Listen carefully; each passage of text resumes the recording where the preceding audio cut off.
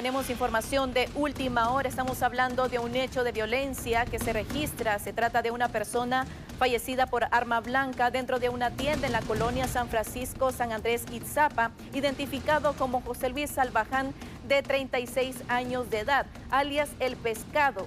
Hasta el momento se desconocen las causas del hecho, sin embargo algunas personas indicaron que esta persona llamada o, con el alias El Pescado consumía una bebida alcohólica cuando desconocidos ingresaron y lo apuñalaron varias veces en el abdomen. El hombre murió desangrado por la gravedad de sus heridas.